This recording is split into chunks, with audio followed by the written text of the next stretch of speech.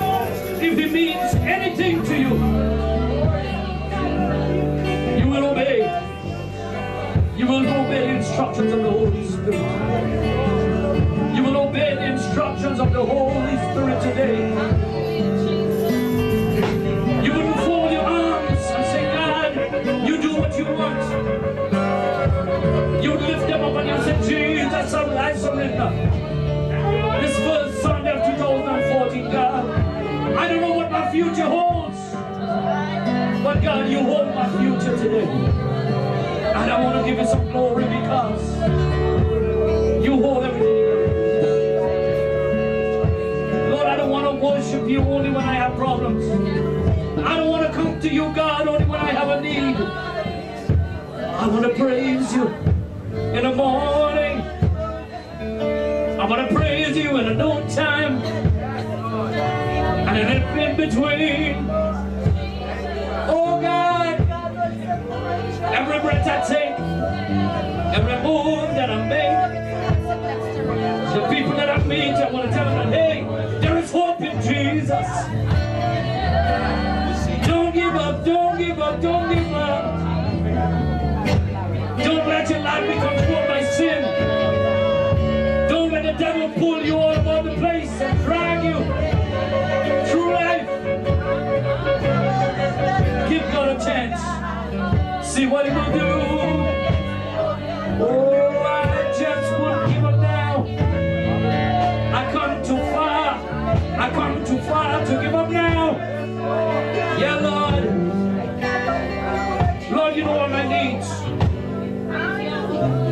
Jesus, you know everything that I need today. Immigration. Immigration. God, you know the needs of your people. Oh, God. Lord, you know the job situation, Father, that your children praying for today. Father. Oh, the relationships, the husband and the wives, God.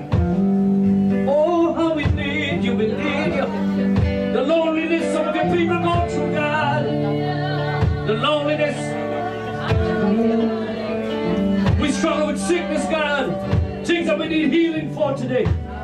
Jesus, we bring before you. So here I am. I present my body as a living sacrifice. Come on, somebody. Come on, somebody. Yeah. Why did you come to church? Why did you come? Why did you come in this cold weather?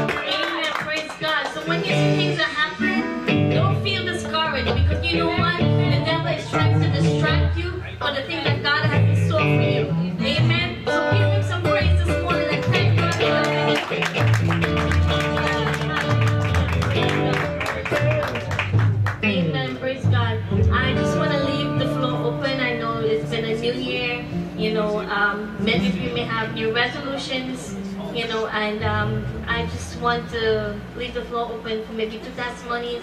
You know, uh, what God has done in your life, and if you would like to share. Amen. Praise God. It is good to be in the house of the Lord. Amen. And we should always give God thanks and praise for waking us up in the mornings. Somebody didn't make it this morning, but I'm, but I'm here to tell you that God is alive and He's well. You know, a few days ago, before Christmas, I lost my wallet. And I was feeling a little bit down. But the Holy Spirit let me know, don't feel despair. Because you're going to get it back and everything in it. But sometimes the enemy will tell you, you might get it back, but not with everything. And I tell a few people and they say to me, well, I know you might get it back, but if you have money in it, you're not getting it back. But I'm here to tell you that the Word of God is true. I got my wallet back with everything in it. Just I had. It came to me in the mail. This morning I hardly get any sleep because the Holy Spirit was ministering to me so. And I tried to turn it off so I could get some sleep, but it, he just wouldn't hush. But he's telling me some things that he's going to do for us, Christ people. And he tells us that our healing is in his praise. Whatever we need is in his praise. We should always praise him. We should always call upon him. I promise In Jesus' name, amen.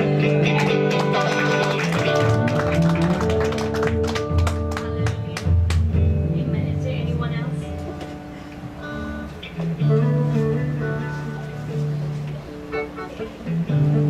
Good morning. I want to greet everybody in the wonderful name of Jesus.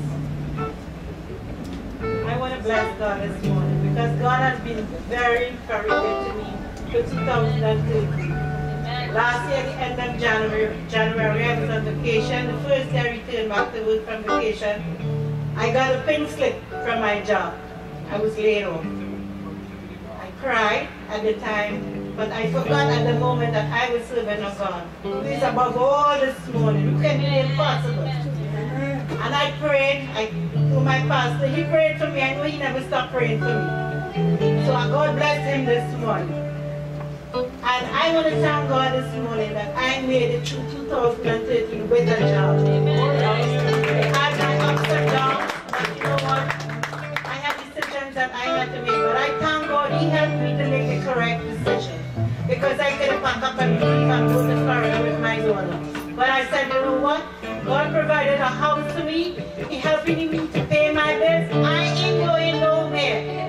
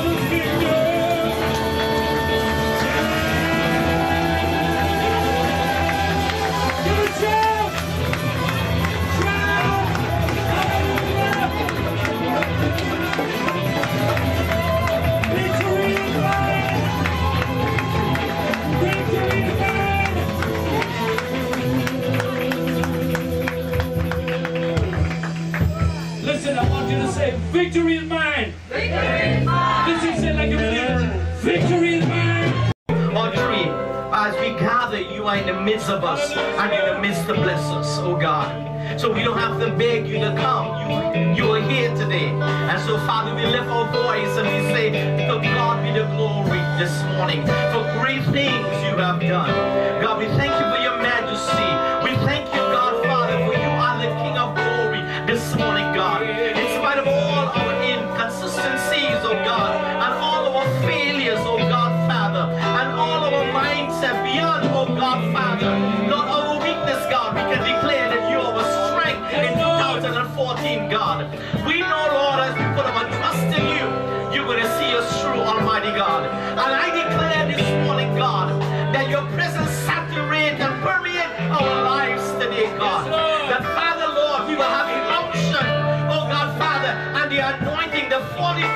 God, what it takes to stand for you, God. And he said, do whatever we can do, but stand, Father. And I pray, Almighty God, Father, this morning, that we will be imitators of Christ this morning in everything that we do and say, Almighty God.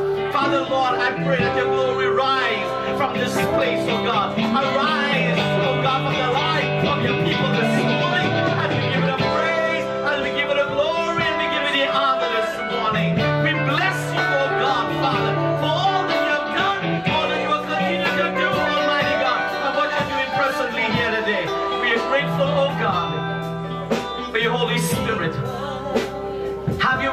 morning. In Jesus' name.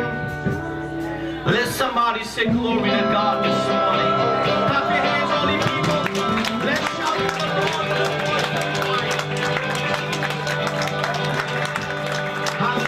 hallelujah, hallelujah. As you remain standing, we just want to go to one passage of scripture taken from the book of Proverbs, if you can do that quickly. Proverbs chapter 17 and verse 24. If you can stand, we just want you to stand for this, for the reading of God's word as we reverence Him. Proverbs chapter 17. And we want to look at just one verse, verse 24.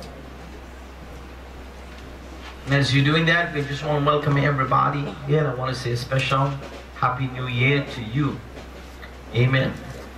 Are we grateful for what is in store for us? Because I know our Father delighted, amen, to do good things for His children. And so we know as we journey through this year that we can have confidence that God designed the best for us. Amen. Amen. Proverbs chapter 17 and verse 24. Wisdom is before him that had understanding, but the eyes of your fool are in, are in the ends of the earth. Can we read that together one more time? Wisdom is before him that had understanding, but the eyes of a fool are in the ends of the earth. We thank God for his reading of his word, which is blessed. Tell your neighbor before you have your seat, neighbor, this year is your year. Be blessed this morning. You may have your seat. I welcome you this morning. We want to thank the theme this morning. Many of them press their way through, and it's not easy, especially for those who are traveling and those who have to drive. I know with Sometimes when you shovel out your spot, especially if you have a pack in the street, you know when you go back, you may not get that park.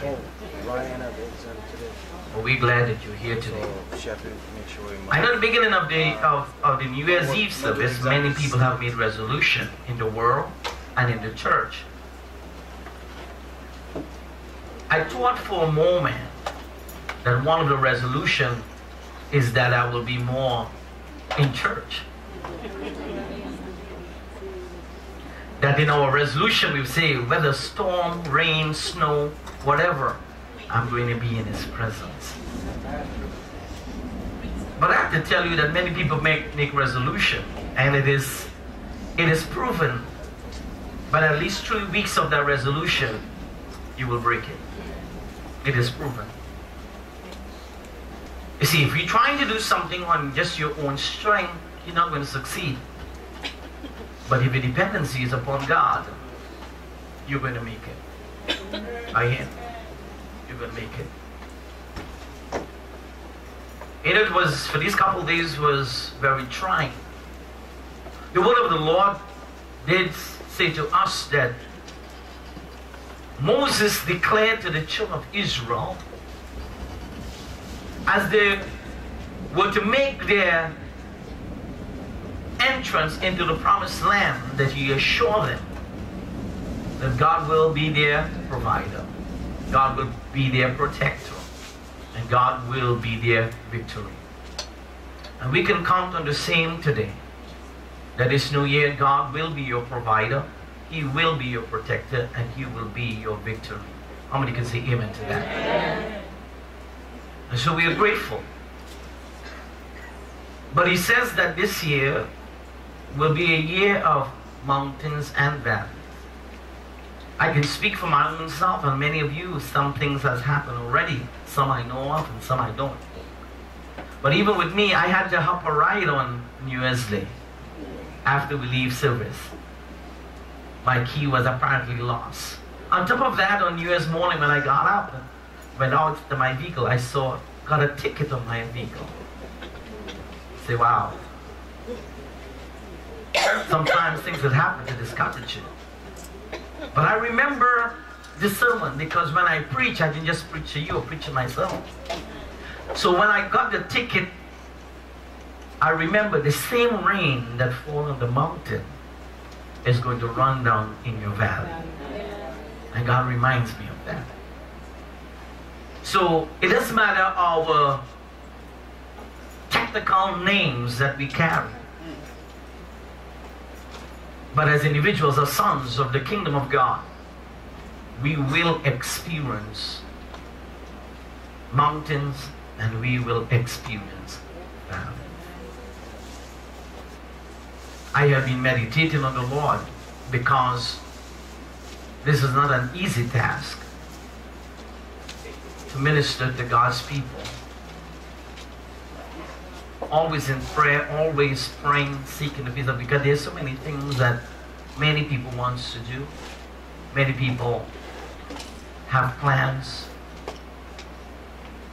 But I believe today that sometimes we need a personal word, which is which is great. But many times God is speaking from a public setting, but we got to open up our ear to hear what He's saying. I hear me this morning. I want to speak to you from a subject as I engage in this passage of scripture this morning, how to make the most of 2014. Already we are on what the fifth day. And it seems just was just last night is the fifth day already. Time is our currency. And what you do with your time is very important. Are you following me this morning? From the Good News translation of the Bible, the same passage of scripture from Proverbs chapter 17 verse 24 reads like this An intelligent person aims at wise action, but a fool starts off in many directions. I want you to ponder on this this morning. An intelligent person aims at wise action, but a fool starts off in many directions. With this in mind, for many already, we can't believe that 2013 is gone. It's over. It seems that with each passing year, it seems like time just speeds up.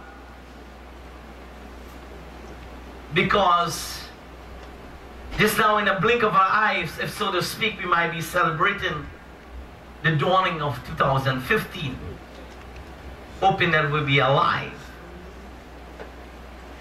It seems that only yesterday, many across the globe and many of the churches were worried about the uncertainties of the dawning of a new year. Because the concerns were great because of the unknown, of not knowing what is going to happen. But I want you to know we made it through 2013.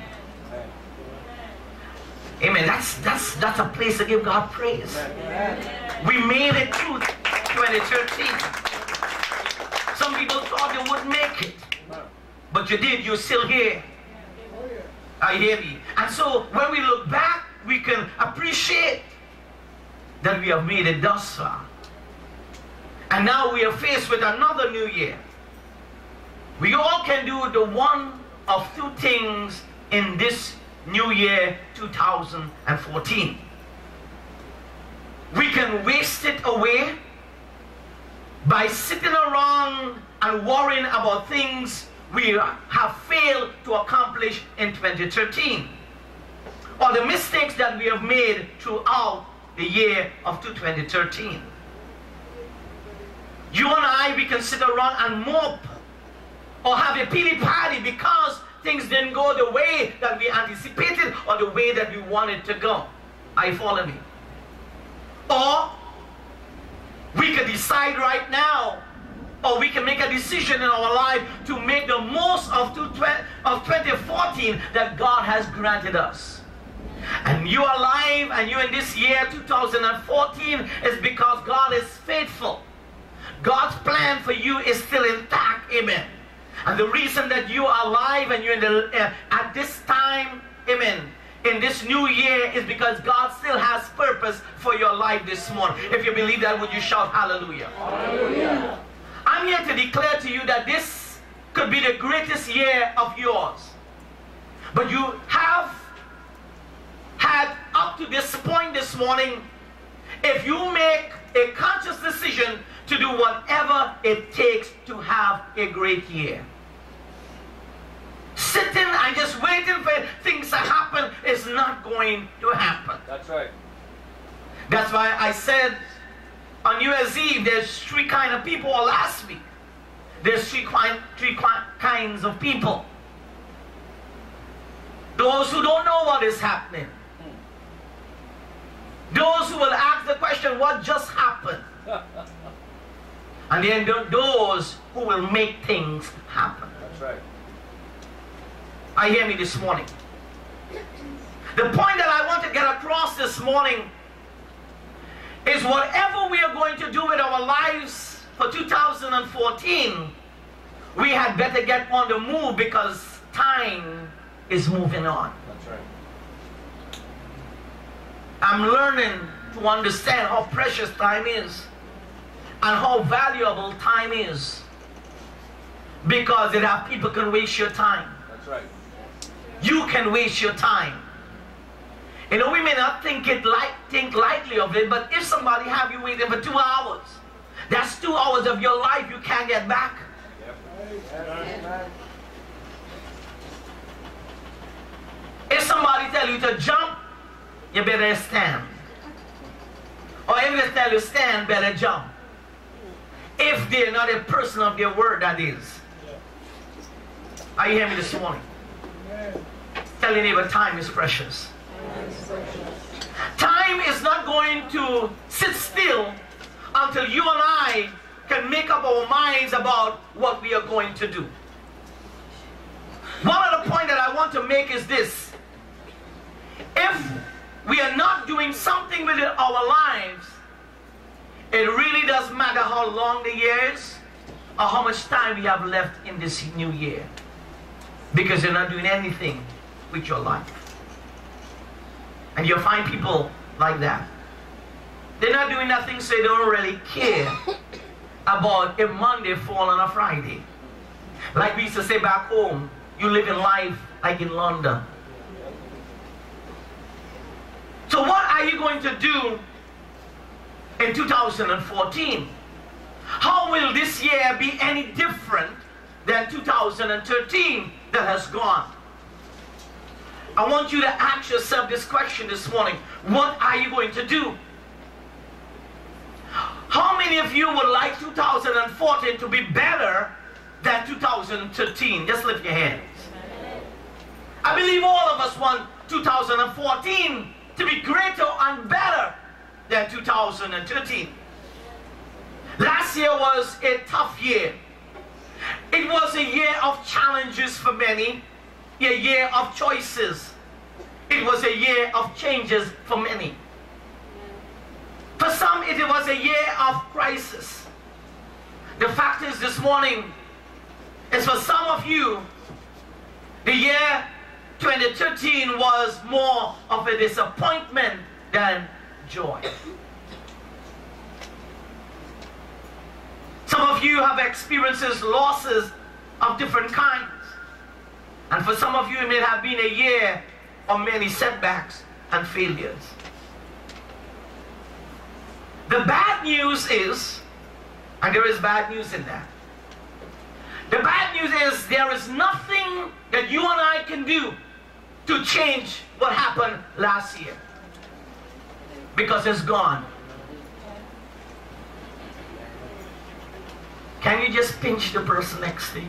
Maybe that might wake them up or they might feel a little pain. You felt that? Did you feel that pinch?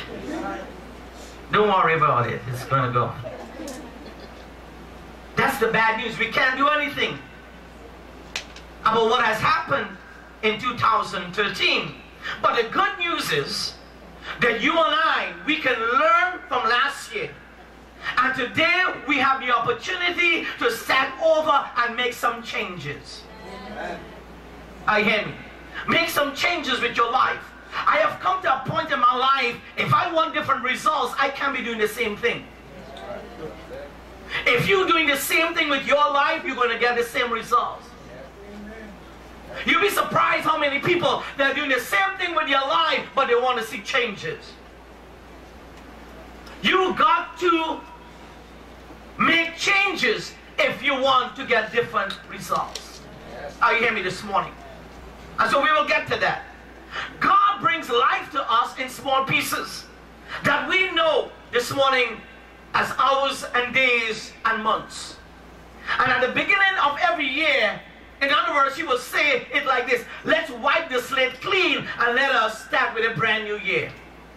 So, how many are grateful that you can start 2014 knowing that God will has wiped out your slate clean this morning?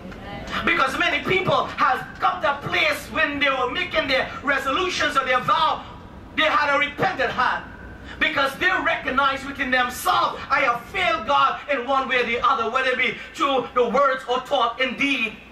And so therefore when they repent, they know that God will, is one that will forgive us our sins and cleanse us from all our unrighteousness. He will make the slave clean so that I can start afresh for this 2014. How many believe that this morning? And so he says, let's wipe their slate clean. God is saying, let's start over. And how many of you know this morning that is great news? God has given, it, given us an opportunity to start over. To do things better than what we were doing before. To make changes in our life that will please Him to make changes that, that will accommodate His Holy Spirit in our life and stop making excuses. Hello, somebody. You see, people can make excuses and think they're, they're fooling God, but really and truly, God knows the very intent of our hearts. That's right. Are you hearing me this morning? I don't worry about people making excuses for me because I pray for people and I know they're making excuses God sees. Hello, somebody. Tell your neighbor God sees. So the Bible tells us from this particular passage of scripture, an intelligent person aims at wise action, but a fool starts off in many directions. For many, the last part of this verse describes them. I'm not just talking about in the church, but but throughout the different hemisphere. It says a fool starts off in many directions. If we were to ask ourselves this question and really contemplate what it is saying, does, does, does this describe you? You start your year off in haste, going in many different di- directions at one time with no plan of action.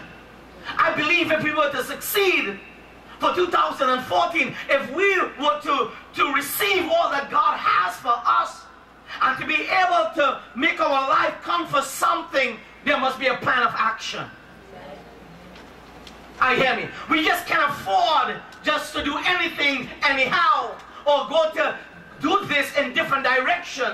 We must have a plan of action for our life if we want to, really succeed, amen, and receive all that God has for us in 2014. Notice the words at the beginning of this verse. It says, an intelligent person aims at wise action. That means they have a goal. They have a plan this morning an objective this morning, an aim, a target in other words. Have you set goals for 2014? Did you have a plan of action? Just before the, the new year, we met with the board and we, we sat down and we, we have put things on paper, what we want accomplished for 2014 the things that God is, is, has placed in our heart, and therefore it's our objective. To, to, to put things and, and strategy and people to have this plan become effective in 2014, which you are included in. Again. I want everybody to know in this same token the vision for your life this morning. If you're part of this ministry and you feel that you belong in this ministry, your vision for your life is encapsulated in the bigger vision for the ministry. And when you humble yourself and put yourself in a place for God to use you, as you do the things that God will have you to do, you will see in the bigger vision of things, you will see your vision coming to pass. Are you me this morning? You see, because we have to have this mindset this morning that God didn't just establish a local church that exists so we can go here and there and everywhere. But God has instituted the local churches so that he can, there are people that God has set into a particular local church to do a particular, uh, um, um, fulfill a particular vision for that particular community. Are you hearing me this morning? So do you have a set plan? Or do you have set goals for 2014? Or are you just living day by day? Or are you just going to walk around into this year and hope it's better? I'm here to declare to you that we got to have a plan. We got to have a plan. This morning I want to share with you four keys that will help us all to get the most of this year 2014. We understand that keys can be used to start something or to use to open doors. Is that so? It is my prayer this morning that these keys will start off on the right footing and in the right direction as we apply it to our life. And It is also my prayer that you will see these keys to open the doors of opportunity that God has placed before you. If I put a label to these keys, I'm just going to say A, B, C, and D. Let's look at key A. Accept responsibility for your life. If we're going to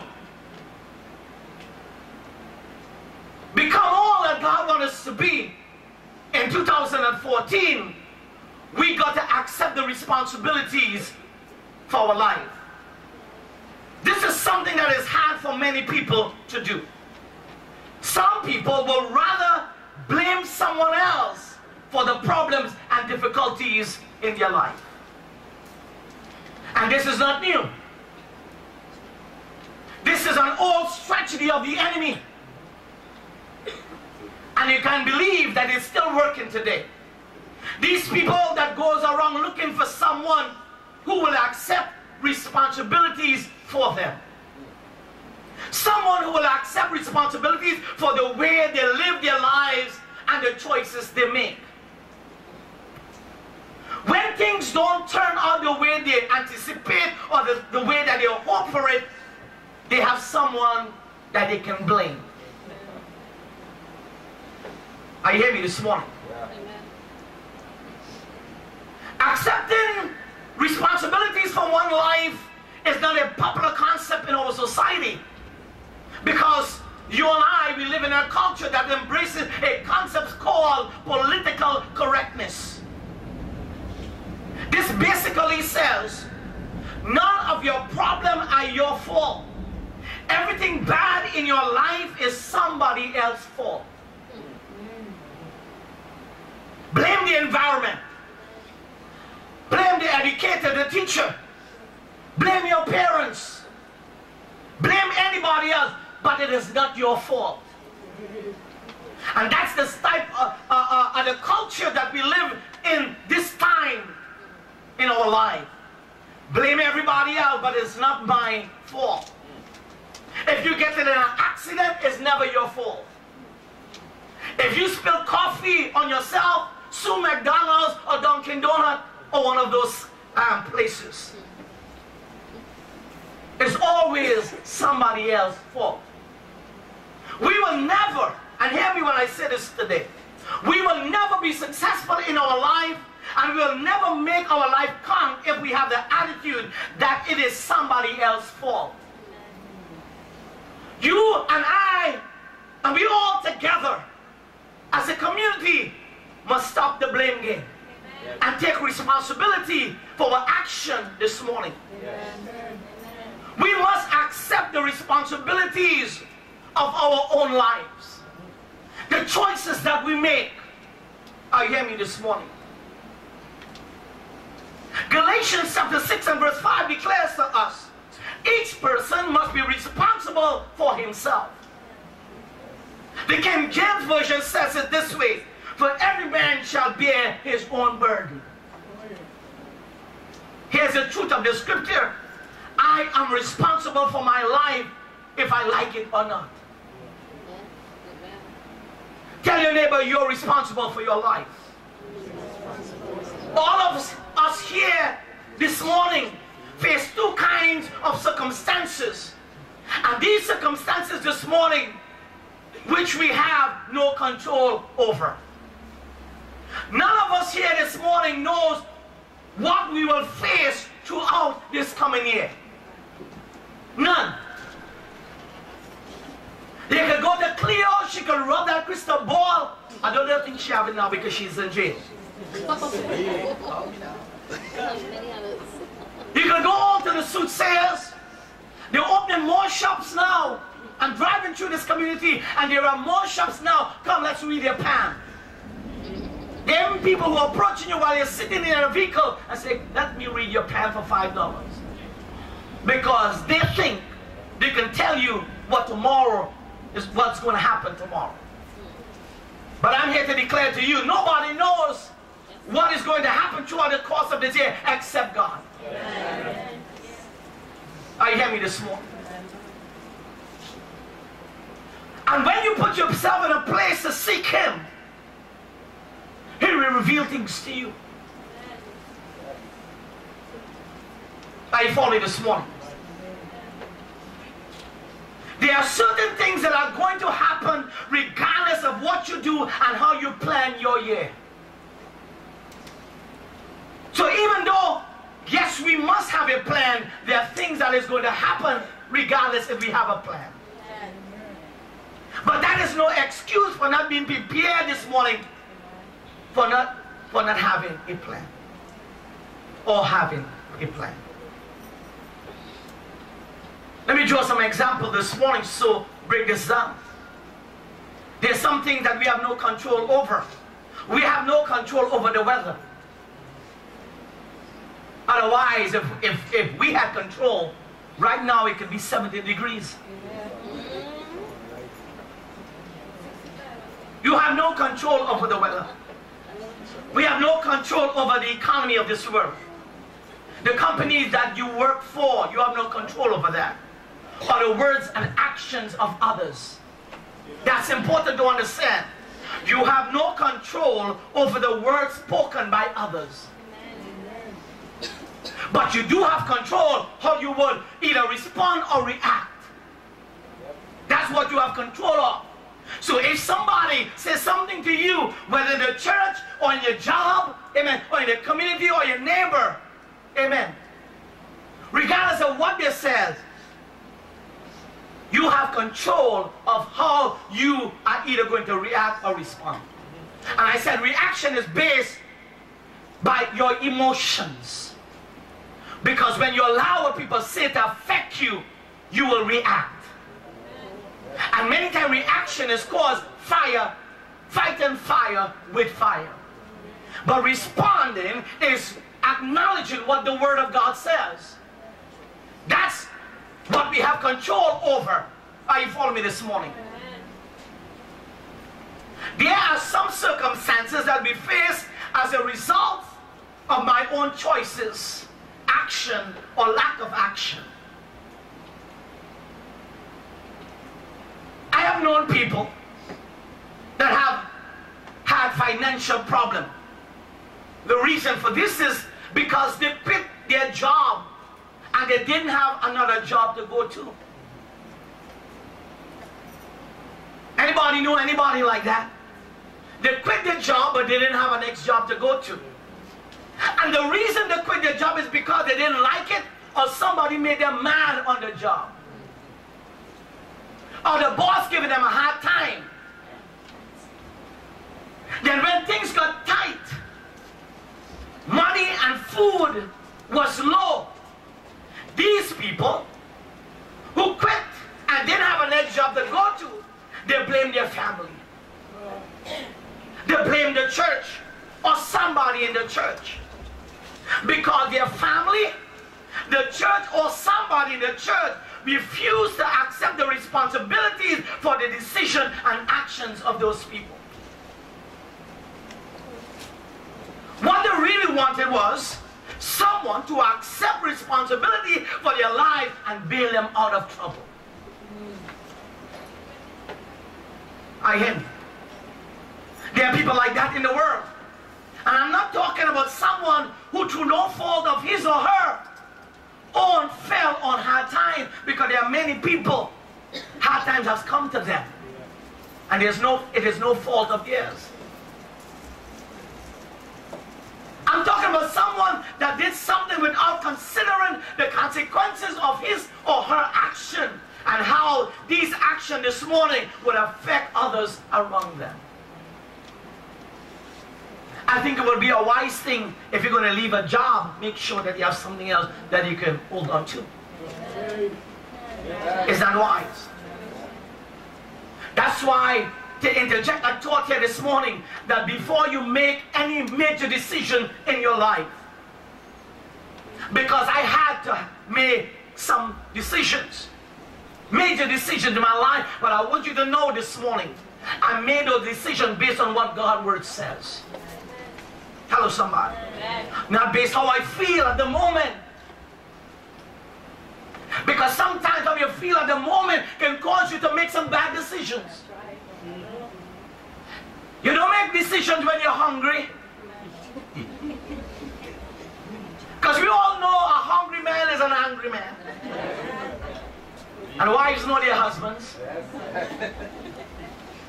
They're irritated when they don't get food. I think sometimes that, that's the effect that have on me. Um, you don't make decisions when you're tired.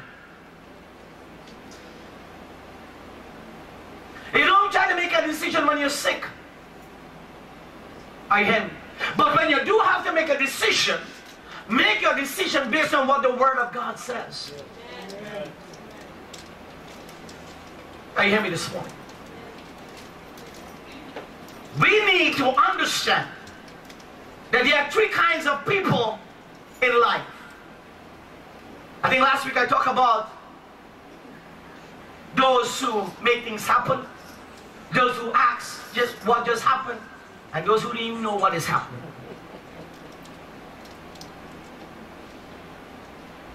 But let me speak about three other types of people. These three are the type of people there, number one, they are those who are accusers. Then there are those who are excusers. And then there are those who are choosers. Those who are excusers, their mindset will be they blame everybody else for their problems. Their favorite phrase is, it's all your fault. And it's never my fault. It is somebody else's fault. These are their accusers. Now those, the second group of people is those who make excuses. These people are those that always have an excuse for not making a decision or doing something.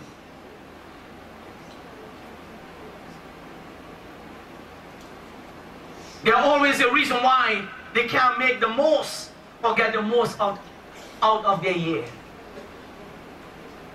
In the long run this morning, they end up being losers.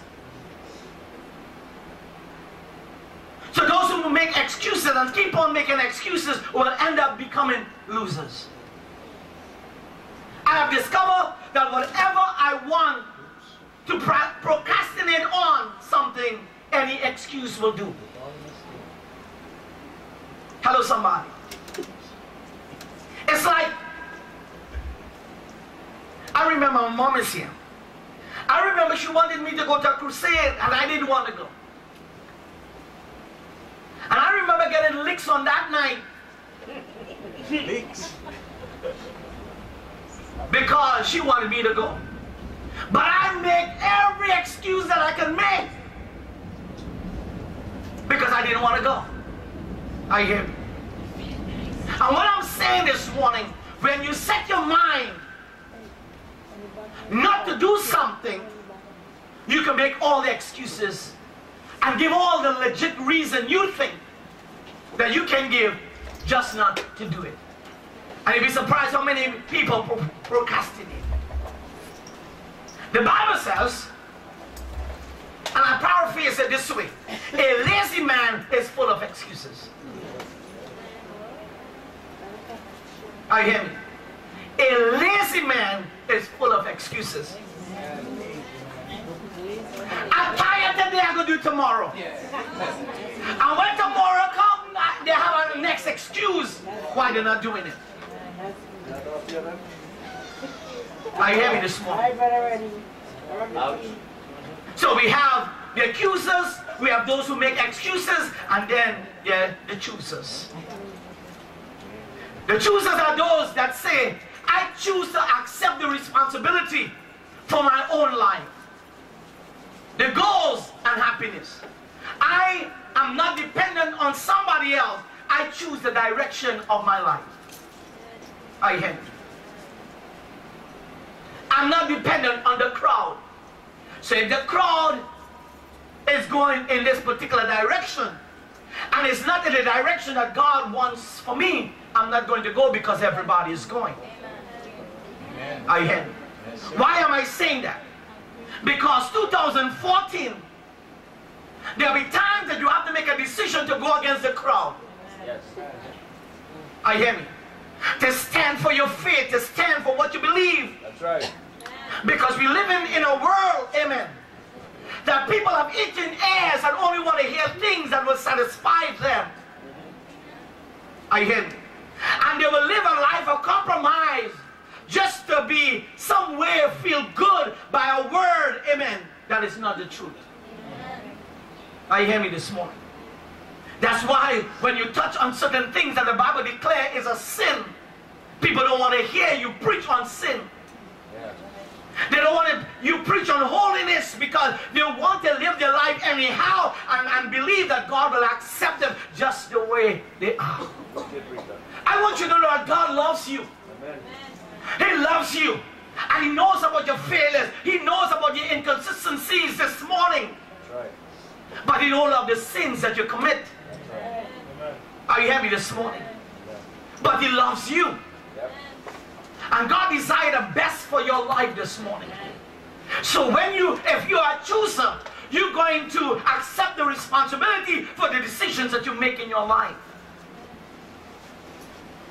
If I choose to make decisions and it's blocking out the blessings of God for my life and for my children and my family, there's nobody else to blame. I cannot blame God. I to take the blame for myself. Because I have made decision to block the block the blessings of God coming my way.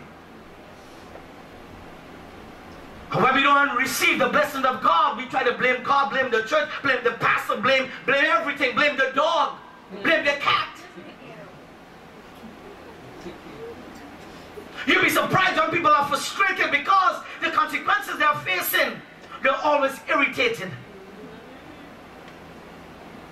Are you hear me this morning? There is no peace, there's no joy. Everything is a problem. One little road you run across, you have a wall of problems. Yeah.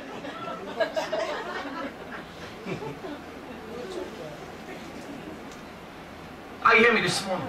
Right. But you see, if we are choosers and we accept the responsibilities, we will be already be jumped ahead in 2014. So accept the responsibilities. The second thing is believe I can change. Stop saying I can't. And start saying I can. Oh, 2013, you'll be surprised. I, I, I was listening to, uh, to uh, uh, uh, what, actually watching a clip. I was going to show this morning, but we had some technical difficulties here today. And you'll be surprised to understand that so many people died and went to the grave with talents and with skills. I hear me. That went with them that they never used. I hear me. When God has placed giftings in each one of us to make a difference. Yes. And when called upon, amen, to use your gifting for the kingdom of God, you'll be surprised how many people make excuses because they tell themselves, I can't. Yeah. Somebody say, Yes, I can. Yeah.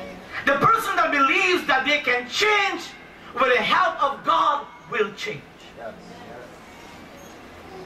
Philippians chapter 4 verse 15 declares in the Jerusalem Bible, there is nothing I cannot master with the help of Christ who give me strength.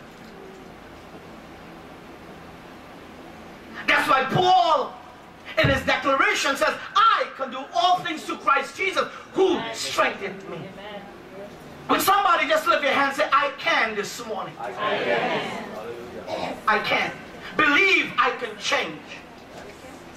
Do you believe that verse this morning?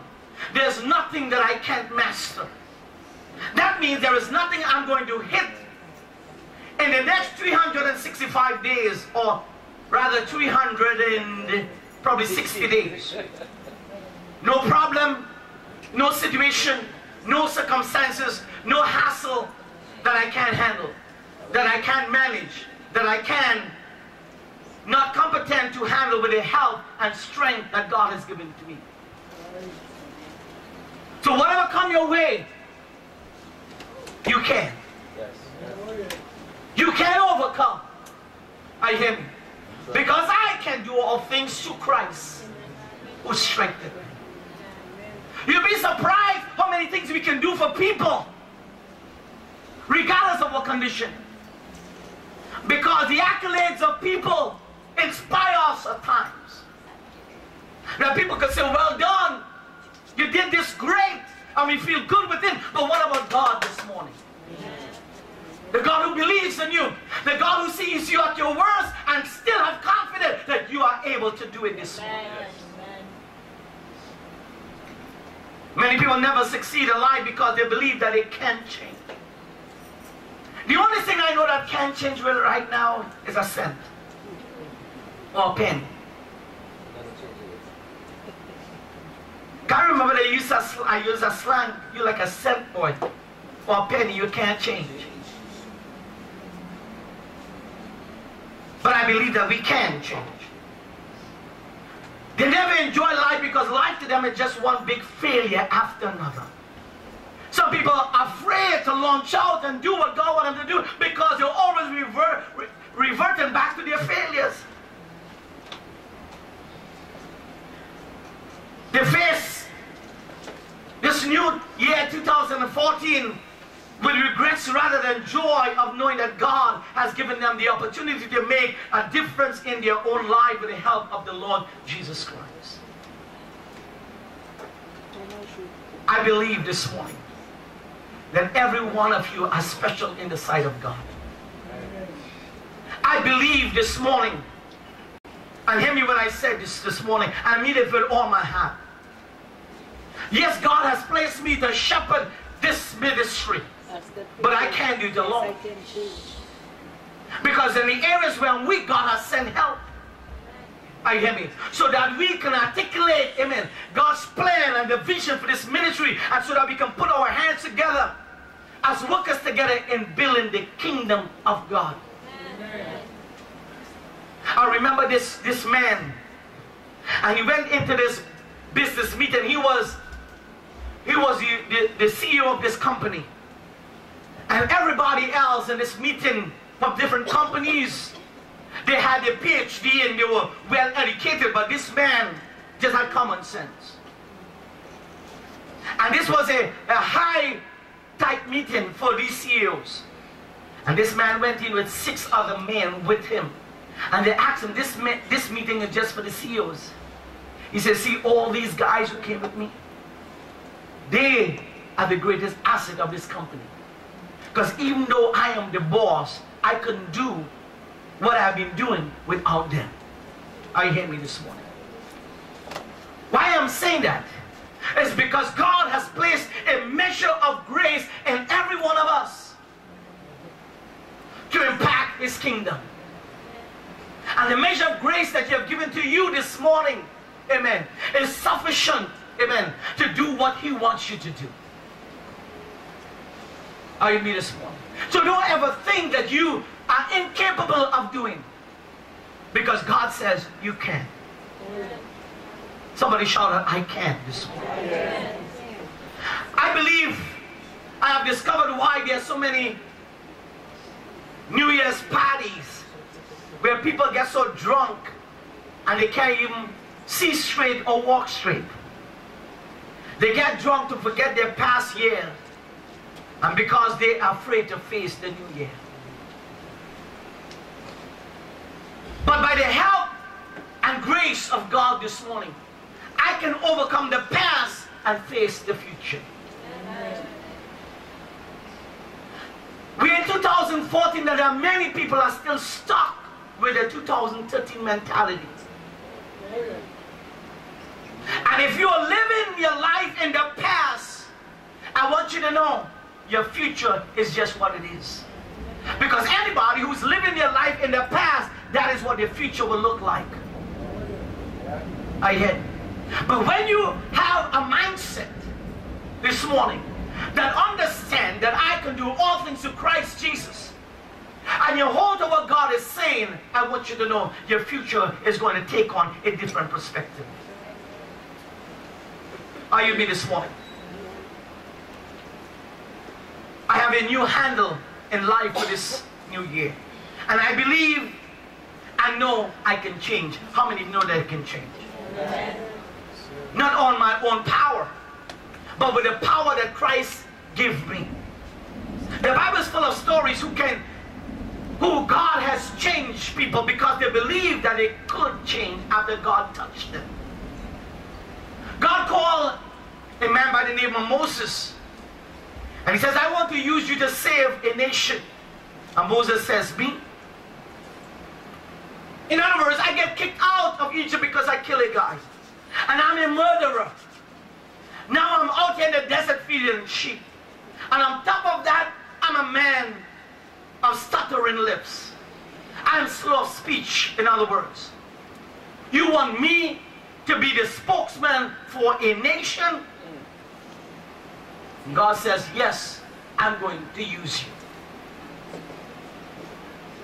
Are you hearing me? Look at another man named Gideon. When the nation of Israel was, was run over by the enemy, God says to Gideon, I'm going to use you. I'm going to use you, Gideon, to save your country. And Gideon said, Me?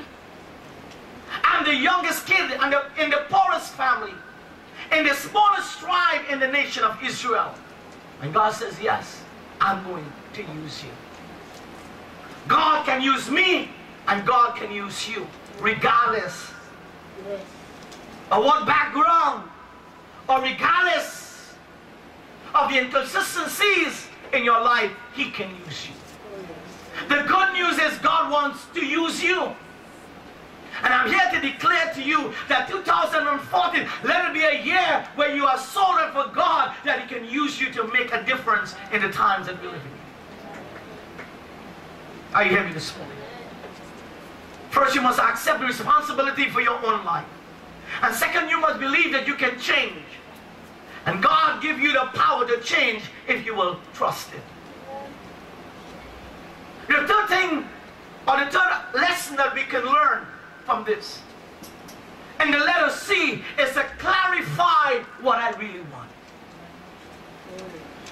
You must decide what's important and what's not important. That's why in today's living, we must understand there are high maintenance relationships that we're holding on to. Why did, do I call it high maintenance relationship? Because that's what it is. You pay a high price to maintain a relationship. Mm. Because in relationship is you always have to be the one to give. Hello, somebody. I maintain a relation, relationship is what is going to pull you away from the things of God. Hello, somebody. In other words, you must you must come to a place and to clarify who are the people that is important in your life.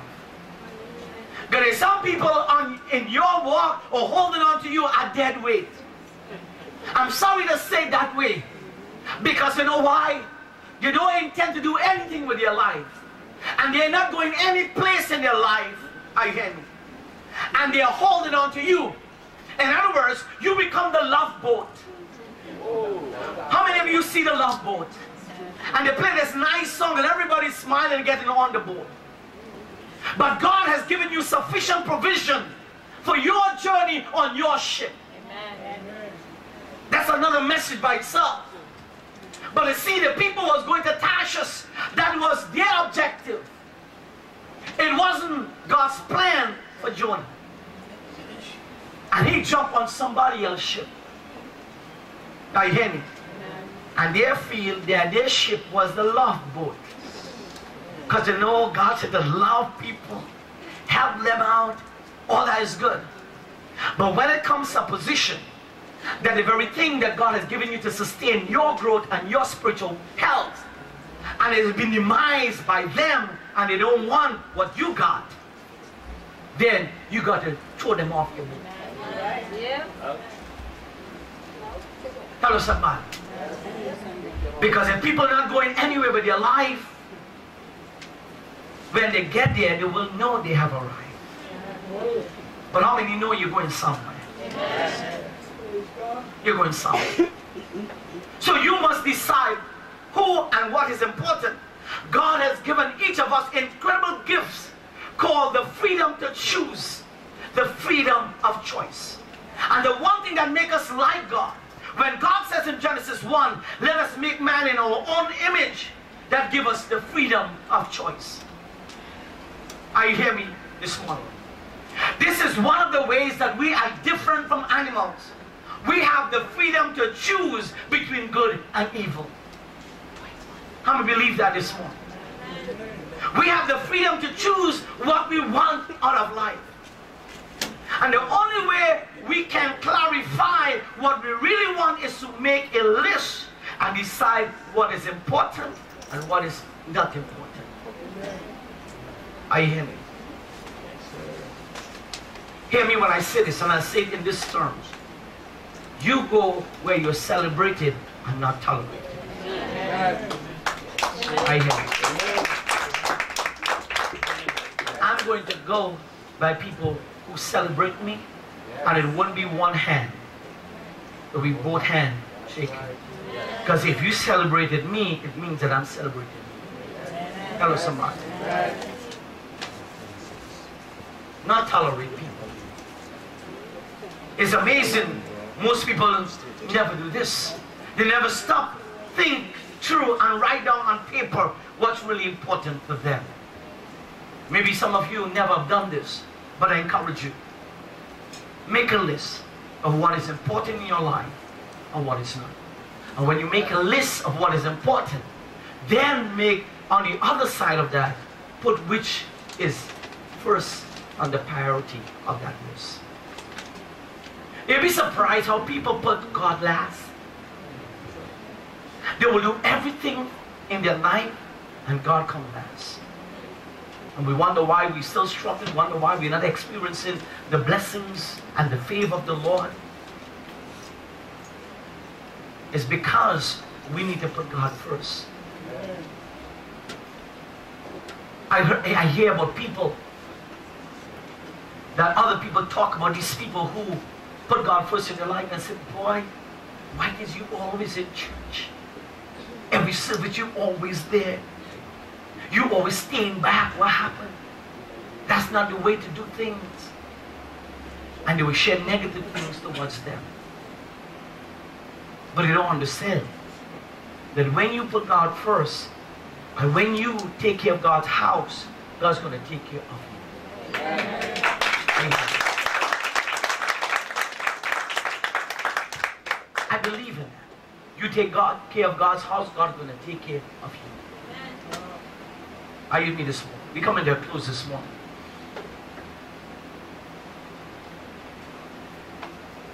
What's important to me? What's important to you? What really counts this morning?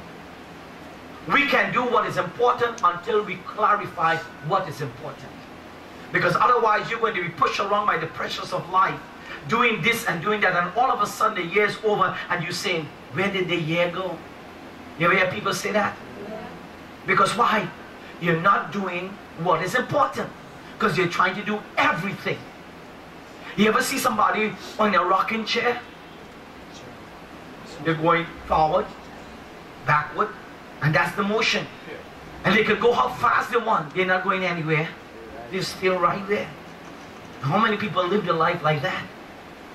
They're not doing what is important in their life. And so when the end of the year comes, you feel empty, dissatisfied. You know why? Because they didn't accomplish what was important to them.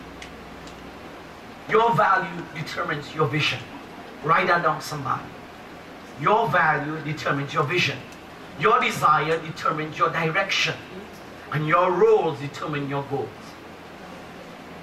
For 2014, your value determines your vision. And your desire determines your direction. Your role determines your goals. Most people have never made up their mind what they want out of life because if you're aiming at nothing, you're going to hit nothing. Aim for something. Are you hearing me this morning? I say aim for something. We tend to reach our place in our life, we tend to believe that we have stopped learning. But I understand that as long as you're living, you will learn something. If you choose to. I'd be surprised to see people, and I thank God to see this, that sometimes I see people coming from the Caribbean countries. If they were home, they never go back to school when they reach a certain age. But when they come here and they recognize they get a good job, they're putting themselves where they could go and learn something. Ah. And if you could do that on a secular basis, why not, why not with the things of God? Put yourself in a place to learn. So that the, the talents and the giftings can come out of you. Are you hearing me? Make commitments this morning. Most people have this vague feeling of, I just want to be happy. But they never really sat down and figure out what it is going to take to make them happy. What does God want me to do with my life? And this is important this morning. What does God want you to do with your life? Why am I here? People who have never written out their values. You got to start writing down these important things. I want to challenge each one of you here today to make a list of things that are important to you. I hear me. Things that you want to accomplish. There is room for you. What do I value? What do I want to change? Put it down. I hear me this morning. Write it down. This is a new year, believers. And then make a prayer list this morning. I want to challenge you in the same token. We're going on a 21 days fasting from tomorrow. I challenge you. Some of you say, I can't fast. That's a lie. That's a lie. You go in one of those um, government um, buildings to do some type of things, and you line up there, you will be hungry. You can't leave the line. You will remain there. Am I lying? Well, say amen now. You go to the doctor, you're waiting for your time. You think you're going to get up and go? No. You're going to wait it out. I'm just saying, if we keep this mindset that I can't do then you're going to tell yourself that you can't do it. I'm saying you could choose how you're going to go on fasting or make some changes in your life. Make a plan of action that will help you accomplish goals of this year. Are you with me this morning? Make a decision for your life. What about church? Let's be a little practical here. What about church? Are you just going to just be a spectator? Not that some of you are. But I'm just saying in the process of making decision. Seven years ago, after leaving one ministry, I was given an opportunity to be in one of the biggest church. Just function, get paid. Didn't have much responsibility because there were other pastors there. And it was nice to just go sit. And when you give it, get assignment, just do it. I could have done that. But why would I just do that? When I know God has called me to make a difference. And even if I don't have the size of ministry they have, it does matter because what God has created you to do is that what He wants you to do. Not to imitate anybody, but to be you. I hear me. And so therefore I make a decision based on what the Holy Spirit is saying and says, you're going to start this ministry. Hear. God has sent you here. You have been in this ministry for some a year, for some, some couple months, some for many years, some, some from the very inception. I thank God for every one of you. But remember what the Bible says, that this man went out for laborers. And he went out in the fields and he got workers and he says, you know what? The job is from 9 to 5 and I'm going to pay you X amount. Do you agree? And they said yes. And they went to work. Then when noontime came, we needed more workers, so he went out and he told them. At the end of the day, the story tells us that when the owner was paying them, those who started 9 was upset because those who came in from 12 got the same pay. But you see, we agreed on what they want to tell us at the beginning that we're going to work for. What I'm saying to you this morning, regardless of what stage or, or when you were here or when you came, it doesn't matter. As long as you put your hands to the plow and you be obedient to God and do what He said, God is going to reward you. I hear because we in this together. How many can say that today? Your church life. How are you going to live your church life? Are you going to just live and just come when you want? Or are you going to make a decision and say, Pastor, I'm going to change. I'm going to make a decision and I'm going to commit my life to the things of God. Don't see church as just a place you come. See this as what God has instituted. Hello, somebody. Because the word, the food that you will get on a Sunday, and the, the blessings of a cooperative blessing, God says, it's going to keep you this morning. Are you with me this morning? Would you stand to your feet this morning?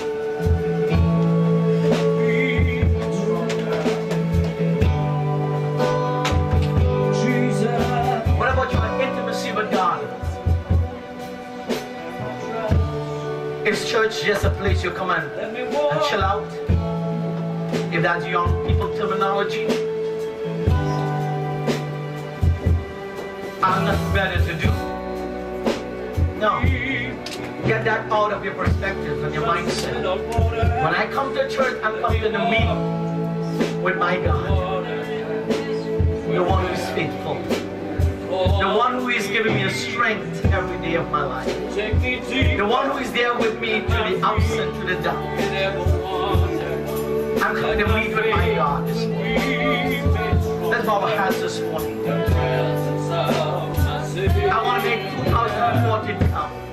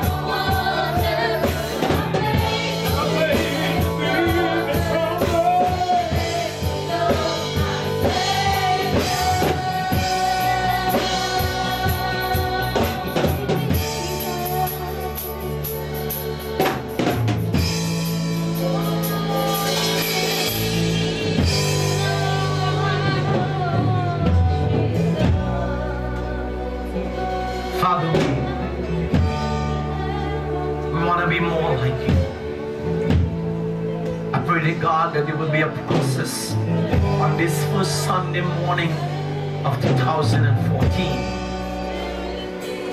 That God, there will be changes in my life. That I will accept the responsibility. I will believe that I can change. God, I'm going to clarify, Father, what is important and what is not. I'm going to make that decision. Father, to become the best that you want me to be, a desire that created me to be. Father, this morning, God. I want to make 2014, God, Father, the best year of my life.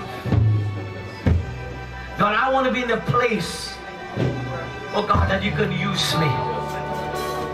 God, I don't want to be an accuser. I don't want to be an excuser. But I don't want to be one who, oh God, is counted as a chooser. To choose the things of the Lord. To choose the path that you want me to go. God, this morning, as I stand here, God, I don't want to make excuses anymore. God, I know you have placed, oh God, treasure within me. I pray this morning, oh God, as we stand here this morning, and even as we have been served this Holy Communion, God, the emblems, oh God, Father, that we hold in our hands the bread and the wine.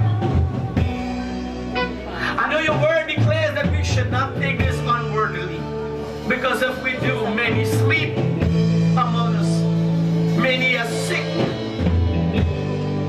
pray, God, this opportunity this morning that we have as sons of God, the Father God, that you will search us today. And God, thank you for second chances. And thank you, oh God, that you are the one that wiped our slate clean. And so I pray this morning that wash, wash us by the washing of water to your word this morning. Purify our hearts today. Sanctify our minds.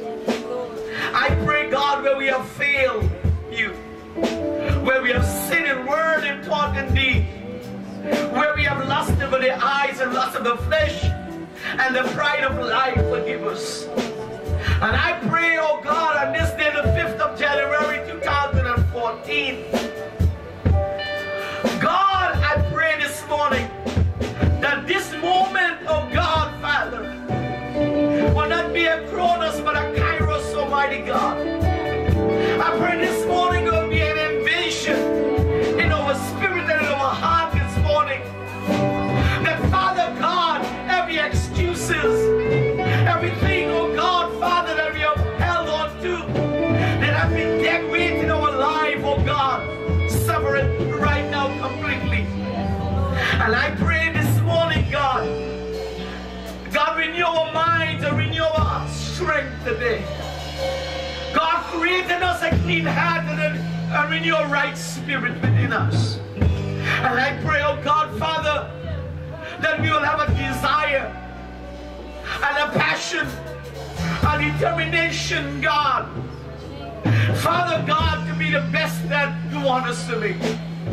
I pray, God, in our mountains and in our valleys, constantly be on you, God. You will be our total dependency. I pray, Almighty God, that we will not make excuses in 2014. But God, we will choose your way. We, you, we will choose, God, what you have in store for us. We will choose to walk in the ways of the Lord. That your word will be a lamp unto our path. Oh God, a lamp on our feet and a light on our path this morning, God. I pray the meditation of our hearts and the fruits of our lips will come up to you, God. I pray, God, for every man, every woman, every boy, every girl.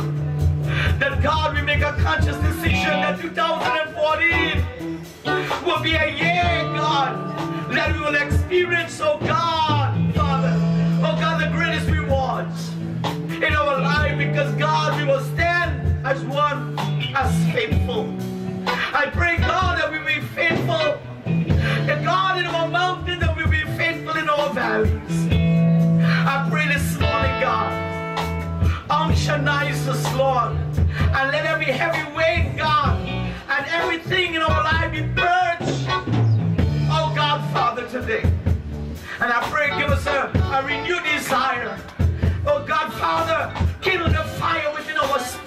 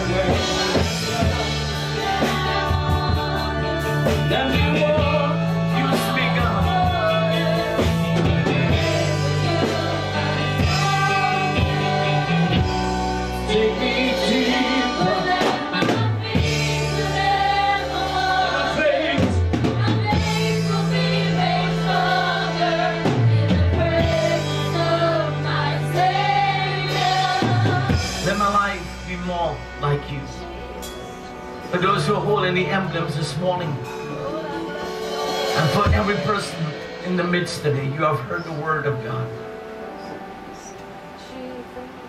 That you have decided to be the best that God wants you to be. As you hold these emblems this morning in your hand, remember that Christ loves you. God loved the world, you and I, that He give His very best. I believe in return that we must give our very best back to Him. And so, therefore, this morning, as we hold these emblems this morning in our hands, the bread that represents His body that was broken for you, and the wine that represents the blood that was shed on Calvary for you. I declare this morning that we, as sons of the kingdom of the living God, as we recognize this memorial, as we recognize what Christ has done and the love of our Father towards us, I pray this morning, just as Jesus did, the night just before he was betrayed, he broke bread and said, Take, it. This is my body which is broken for you. In the same manner, he took the cup of the supper, This is your new covenant in my blood. And as often as you eat the bread and you drink of the cup, you proclaim the Lord's death until he comes. I pray that there will be transformation in our lives. I pray there will be unity in our spirit. I pray, God, Father, there will be a total surrender of our lives to you. And I pray as we partake of Holy Communion, I pray, God, every benefit, God, all that you have done to Christ to redeem and to restore us, God, Father, will enjoy and walk in these benefits. I pray that our lives throughout the course of this year will be used for your honor and glory. That Christ will be seen, God, through every act and actions that come forth from our life. I pray that we'll put you first in everything that we do. I pray, oh God, Father, today, that we will grow and prosper. We will grow strong and healthy in mind, body, and spirit. I pray, oh God, Father, that, Lord, there will be nothing that is too hard for us to do for you. And God, we will not hold back anything from you. That God, we recognize that whatever we give to you, Father God, we are sowing our best seeds into good grounds. Knowing, Father, that when we plant, when we sow, we will always reap the harvest. And so I believe, God, this morning, where your people have been planted, I pray, oh God, Father, they will blossom. And Father, there will bear fruits in your life, fruits that will remain, that you will be pleased with them. Father, I declare this morning the bread and the wine is blessed and sanctified. And I pray as we partake of it this morning, we partake of this consciously, oh God, knowing what you have done for us. In Jesus' name. Amen and amen. Let's partake of the bread this morning.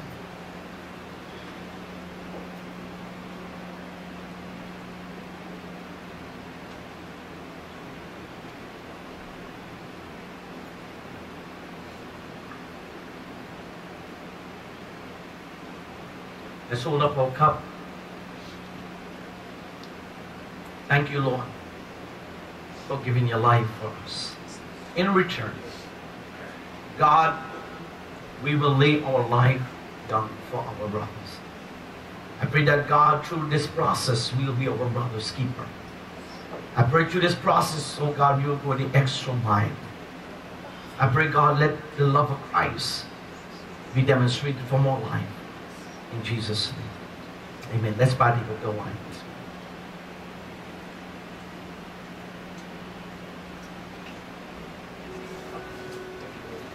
I want you this morning, before we worship, again, in a, I want you to go to about two or three, and I want you to hug them.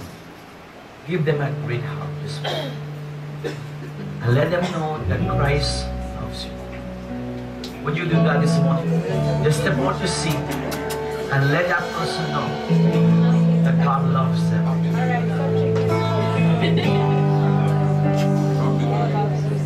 Come on.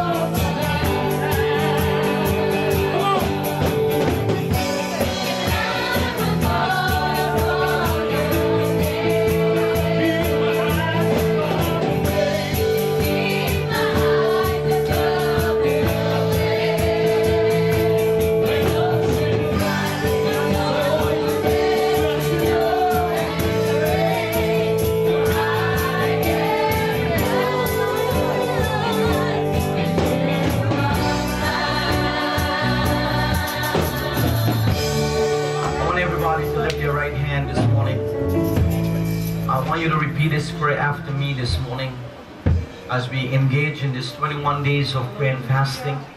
I want you to know also that uh, because of the weather, and I know it's going to get colder, we will plan, we normally plan the first week to meet here, but I know it's really, be really cold. So what we're going to do, we will be here on Wednesday, and we'll be here on Friday the rest of the days we're going to be on the line, on the prayer line. I, I trust that everybody um, can come on the line. We will start at 8.30 on the line. With some of the leaders and with all of you coming in, we'll be able to pray on the line. It's a conference line. And as much of you could come on, you will be in this uh, conference setting. And you'll be able to pray. You'll be able to hear each other. You'll be able to ask and, and share your requests. And we'll have leaders praying over the telephone um, for the needs that there may be. Is that okay? All right. Wednesday possible. Be here Friday for those of you who can come. All right. We can have a grand time. Repeat after me, Heavenly Father. I bow in worship and praise before you. I cover myself with the blood of Jesus Christ and claim the protection of His blood for my family, my finances, my home, my spirit, soul, mind, and body. I surrender myself completely in every area of my life to you. I take a stand against all the workings of the devil that will try and hinder me and my family from best serving you. I address myself only to the true and living God.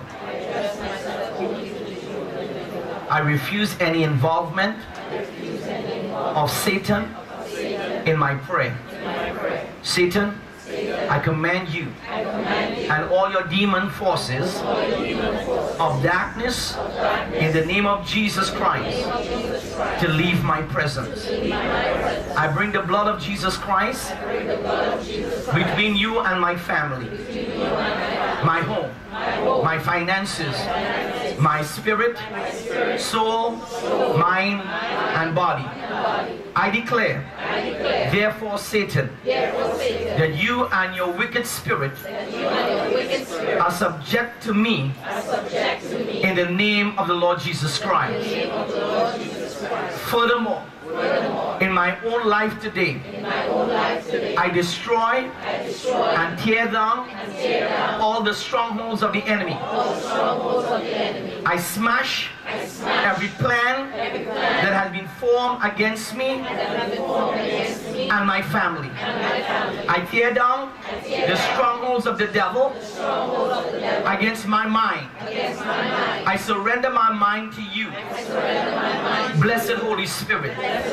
I affirm, Heavenly Father, that you have not given me the spirit of fear, but of power and of love and of a sound mind. Therefore, I resist the spirit of fear in the name of Jesus, the Son of the living God. I refuse to fear. I refuse to doubt. I refuse to worry because I have authority over all the powers of the enemy. And nothing shall by any means harm me and my family. I claim complete and absolute victory over the forces of darkness in the name of Jesus. I bind the devil and I command him to lose my peace, to lose my joy, to lose my prosperity, and every member of my family for the glory of God. And by faith, I call it done. In Jesus' name, amen. And amen this morning. Somebody clap your hands for the Lord.